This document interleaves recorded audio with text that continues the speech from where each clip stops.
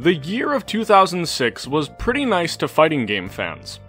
Tekken 5 received its Dark Resurrection update on the PSP, both Virtua Fighter 5 and the first Arcana Heart game released in arcades, then there was Mortal Kombat Armageddon, Street Fighter Alpha 3 Max, KOF's 11 and Maximum Impact 2, and the Accent Core update to Guilty Gear X2.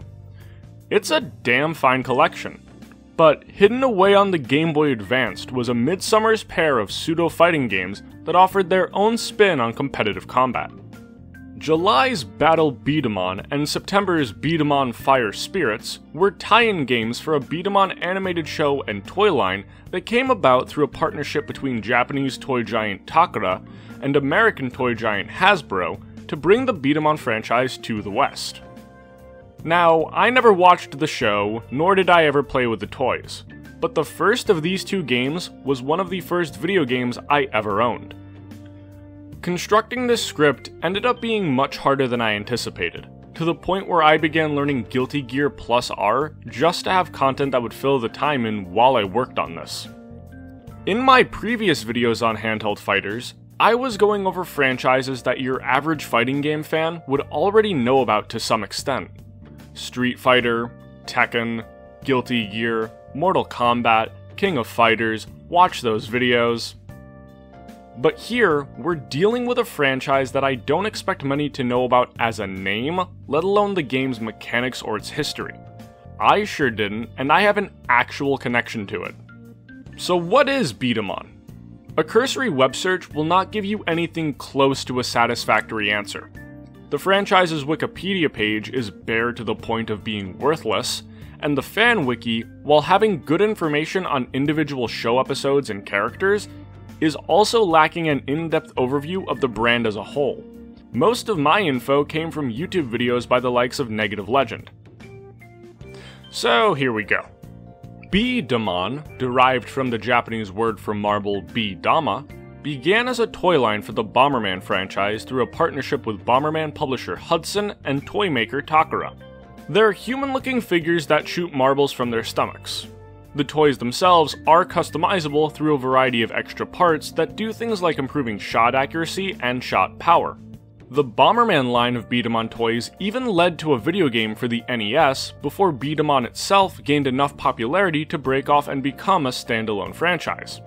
The NES title is focused on using B-Daman in a puzzle solving type of way, with a very bare bones combat mode haplessly tacked on, as would also be the case for the brand's outing on the N64. Its Game Boy Color releases are turn based RPGs that I really struggled to find any information on.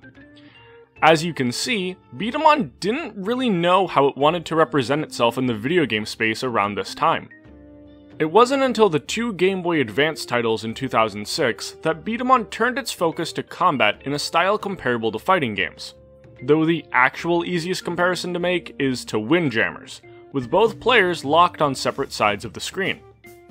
But unlike Windjammer's usage of points to determine a winner, B-Daman uses the health bars we're all familiar with. Movement mainly consists of moving left or right, though you can push your B-Daman forward to get a better aim. You can also tilt your B-Daman to the sides by using the shoulder buttons. This lets you ricochet your shots off the walls, which can come in handy in certain situations. So we've covered left, right, forward, and the diagonals. But what about back? While useless in the first GBA game, September's Fire Spirits gives holding back an actual purpose, which basically amounts to blocking. While holding back in Fire Spirits, your B-Daman enters a defensive stance where it gets a green outline and takes less damage from attacks, with the moves making a different sound when they hit you. You leave this defensive stance by doing anything that isn't holding back. Shooting, tilting, moving, you get it. The game demands that you move by giving you a limited amount of ammo and having extra reserves of ammo appear in the corners. The rate at which ammo spawns is dependent on your loadout. If you're using parts that give you a lot of ammo at the start of the game, the refills aren't going to immediately spawn and will take longer to respawn.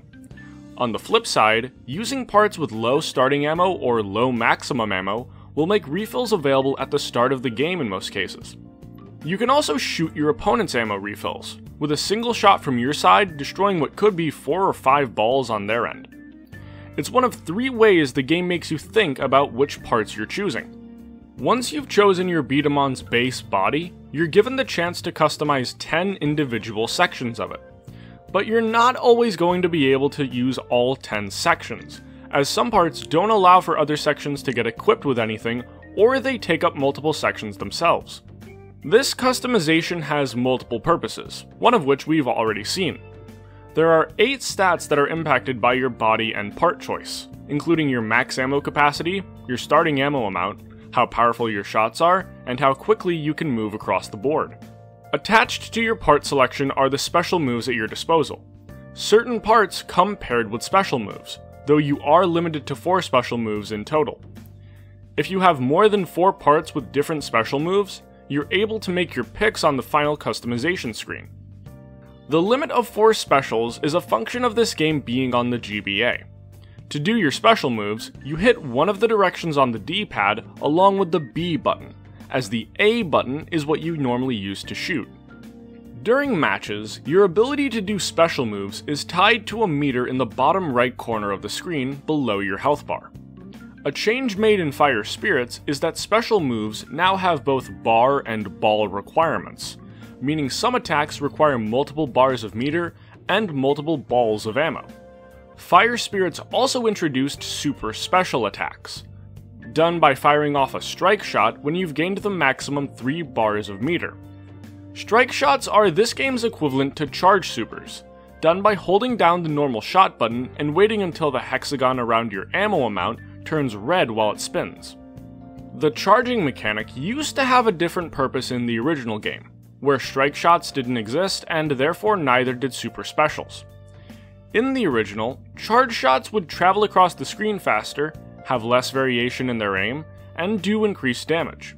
That is no longer the case in Fire Spirits, as once you fire your strike shot, you can't charge any more shots. Strike shots can also be used outside of super specials, as a high powered shot that does similar damage to one of your normal specials while not requiring any meter. But you only get to use your strike shot once per round. Unlike the previous games I've covered, both B-Daman games have legitimate story modes, telling the whole of the TV series across them. Neither should take you more than about 5 hours to beat, but they're both fun to play through, especially if the player's of a younger age. The games even offer mid cutscene choices, like whether or not to let your traveling partner fall off a cliff. This happens within 30 minutes of the first game, and it really caught me off guard while replaying it.